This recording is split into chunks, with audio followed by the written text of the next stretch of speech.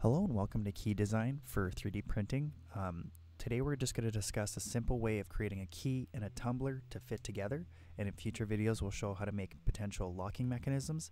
Of course this would be more based for puzzle boxes, not an actual lock as 3D printing is not strong enough for that, but hopefully it'll give you some ideas to try out.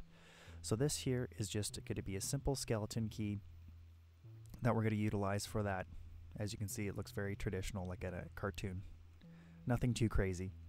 And the, what we're going to fit it into is what's called a tumbler. So this is the tumbler itself, and it's very simple. It looks complicated, but it's actually very simple as uh, it'll be together in an assembly. But let's just take a quick section view to take a look on the inside.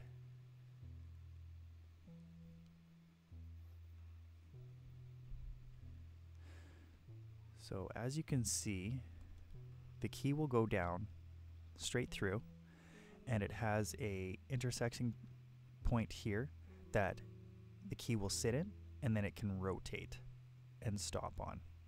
So it has a bit of a stop here.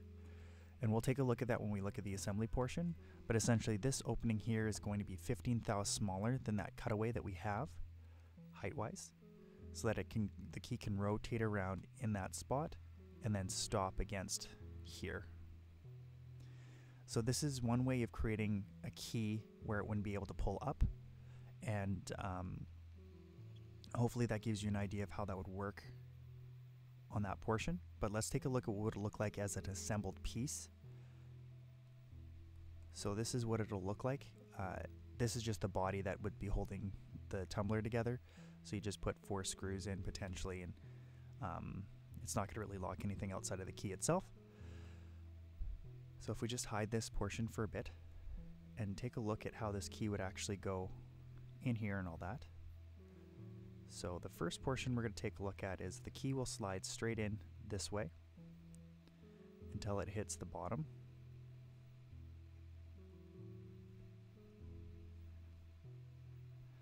And then the next portion is what's going to happen is once you have that slide slid in there, the next thing you're going to do is you'd be able to rotate the key keyway. And as you can see, there'll be no interference with the part, with in any of the parts that are in here.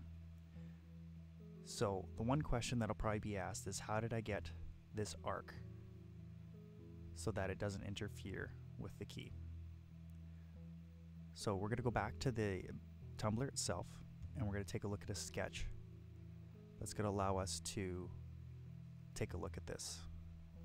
So in this sketch, you can see a couple different circles and some arcs.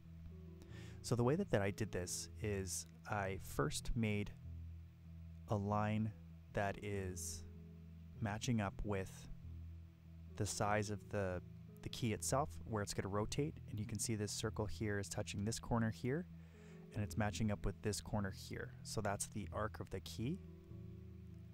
Next what I did is I took the 16th of an inch, which is the depth of the key um, cutout that is on the, the cutaway there. I'll just go back to the key here. This cutaway here. And I brought that in and I made a circle. So that's the arc of the cutout. Next what I did is I made it a line that's 15 thou from that circle away and then that made this distance here. So then when I extruded that down, you can see that it came straight down and then I actually had another piece I just had to extrude out which I probably could have added to the other sketch but sight sight uh, and then that's what's going to allow you to have this movement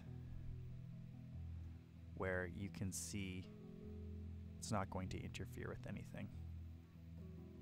So that's one way of making a key keyway so that it can turn and rotate. Hopefully that helps. If you have any questions, please feel free to leave them in the comments. Otherwise, this is Tyler with 3D Printersaur, and I hope you have a great day.